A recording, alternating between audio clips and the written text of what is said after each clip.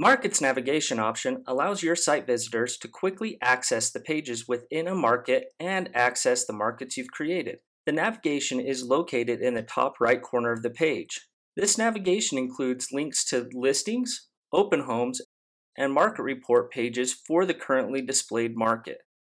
It also includes a drop-down menu with links to the other markets you've created. If you're new to MarketBoost, but you have existing markets previously called Save Search Pages in your account, navigation will be off by default for your existing markets.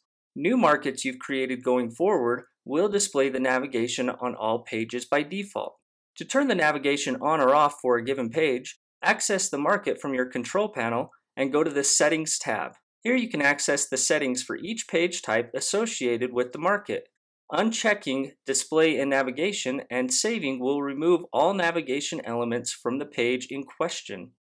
It will also remove the page from the drop-down of markets where applicable. If you have any questions or comments, please feel free to reach out to us at support at ihomefinder.com or visit support.ihomefinder.com. Thanks for joining us. We'll see you next time.